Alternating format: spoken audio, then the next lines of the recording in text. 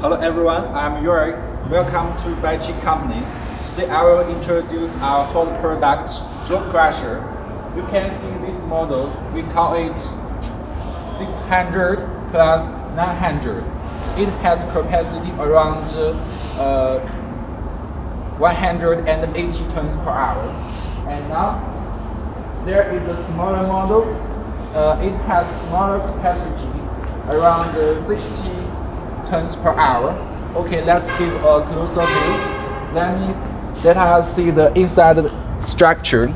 We can see there is a fixed jaw and a movable jaw. The jaw material is high manganese steel, so it is very durable for the crushing process.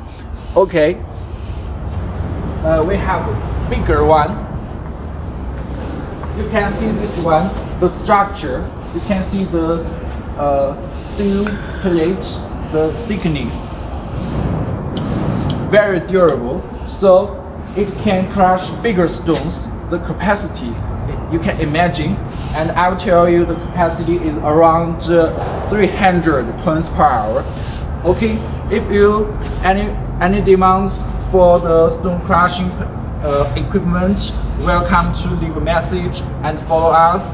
Uh, you can call our phone and we'll give you uh, technical details and a good suggestion. Thank you everybody. Bye bye.